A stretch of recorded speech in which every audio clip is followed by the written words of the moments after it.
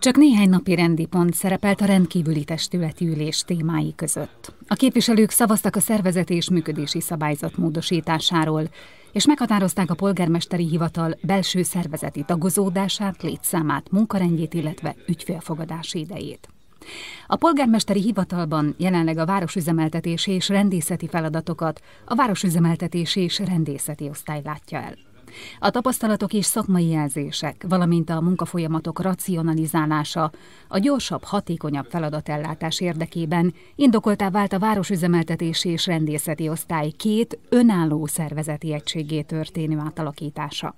A testület így arról döntött egyhangulag szerdán, hogy létrejön a városüzemeltetési osztály és a Kazincbarcikai önkormányzati rendészet.